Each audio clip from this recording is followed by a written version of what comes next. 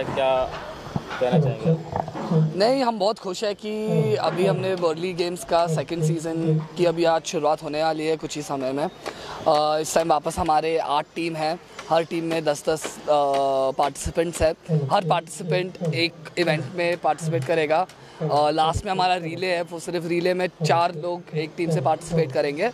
और ऐसा हमारा रूपरेशा है कार्यक्रम का। और हम हम अ, हम ये उम्मीद करते हैं कि वर्ली गेम्स के माध्यम से वर्ली में स्पोर्ट्स फिटनेस का जो कल्चर है वो और बढ़े। वर्ली में वैसे भी बहुत लोग जिम्स यूज़ करते हैं फिट रहने की बहुत कोशिश करते रहते हैं। कोविड के बाद अपन ने देखा रहेगा कि फिटनेस इंडस्ट्री बहुत बढ़ गई है। बहुत यंग लोग सीनियर सिटीजन्स भी बच्चे लोग भी सब लोग फिटनेस के तरफ़ जा रहे हैं। तो हमारा यही उद्देश्य है कि फिटनेस को हम प्रमोट करें। मैं खुद एक एथलीट हूँ। बचपन से मैं स्पोर्ट्स खेलता रहा हूँ और मैं यही चाहता हूँ कि स्पोर्ट्स से जो डिसिप्लिन बच्चों को, युवाओं को मिले, वो डिसिप्लिन लेके ही वो बड़े होए और जो अपनी सोसाइटी है, अपनी जहाँ पे हम रहते हैं, उसको और बेहतर बनाए। क्या पहले, पहला सीज़न में किस तरह का रिस्पांस मिला था और जो अभी शुरुआत होने जा रही है सेकंड सीज़न की, किस तरह का रिस्पांस लोगों का मिल रहा है? और पहले सीज़न के बाद तो हमको बहुत अच्छा रिस्पांस मिला था। उन्होंने ही बोला था कि ऐसे कार्यक्रम करते रहो। ऐसे पहले कभी कार्यक्रम हुआ नहीं था जहाँ पे अपन power lifting body weight lifting और रिले को एक साथ, एक ही इवेंट में प्रस्तुत किया गया हो।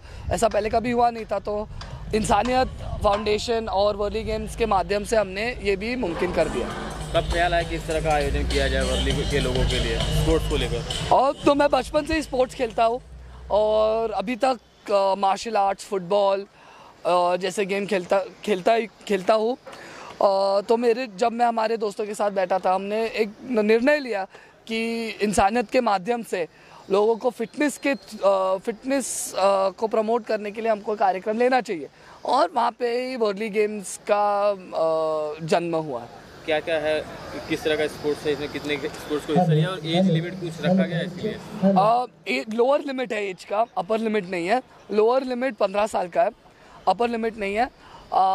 आठ गेम्स है आठ इवेंट्स है। हम शुरुआत करेंगे स्क्वाट फिर बेंच प्रेस फिर डेडलिफ्ट उसके बाद जाएँगे पुशअप कंपटीशन पे पुल अप कंपटीशन फिर प्लैंक कंपटीशन और एंड में हम टायर फ्लिप रिले रखने वाले हैं। तो क्या सिर्फ़ वर्ली के लोगों के लिए है कि मुंबई से कोई भी आकर हिस्सा नाम ले सकते मतलब हिस्सा ले सकते हैं? तो कार्यक्रम जो हाइपर लोकल जिम्स है जो जिम्स अपने चॉल्स में रहते हैं या अपने बिल्डिंग्स में रहते हैं ऐसे जो छोटे जिम्स हैं उनको उनको उनके जो बिल्डिंग के लोगों को फिटनेस के लिए प्रोत्साहन देने के लिए वहाँ के जो लोकल हाइपर लोकल जिम्स है उनको हमने बुलाया है कार्यक्रम में। अरविंद जी पिछले साल हमने देखा था कि कई बड़े चेहरे राजनीति के आए थे आपको का, आपके काम को काफ़ी सराहा था क्या इस बार की भी आएँगे बड़े चेहरे कोई?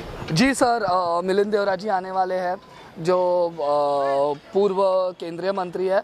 अभी के कैबिनेट मंत्री मंगल प्रभात लोधा जी ने भी बोला है कि वो आएँगे और हमारे मुंबई के अध्यक्ष आशीष शेलार जी ने भी बोला कि वो आएँगे। लोगों से क्या अपील करना चाहेंगे? आगाज़ हो चुका है आज से क्या कहना चाहेंगे? कितने दिन का ये रहेगा खेल?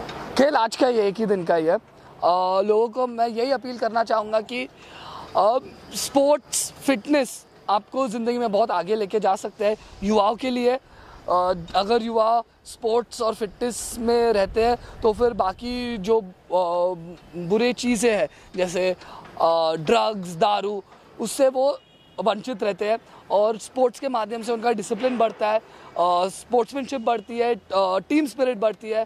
टीम स्पिरिट से अपन एक साथ एक एक जगह में रह सकते हैं और वही जगह को अपन जितना बेटर कर सकते हैं, अपन कर लेंगे सर। आपको क्या लगता है फिट रहने के लिए जिम ज़्यादा ज़रूरी है कि स्पोर्ट्स भी ज़रूरी है?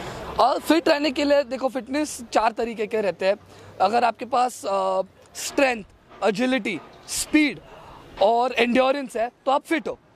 वो आप कोई भी तरीके से जब भी आप स्पोर्ट्स खेलते हो स्पोर्ट्स में भी आपको जिम जाना पड़ेगा।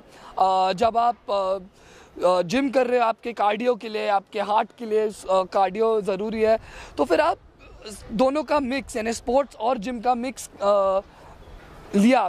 जिम स्पोर्ट्स योगा का मिक्स वो मेरे मैं अगर मुझे एडवाइस देना रहेगा तो मैं जिम स्पोर्ट्स और योगा ये तीन चीज़ों का अगर आपने मिक्स किया तो आप ज़रूर फिट हो सकते हो। Thank you sir thank you sir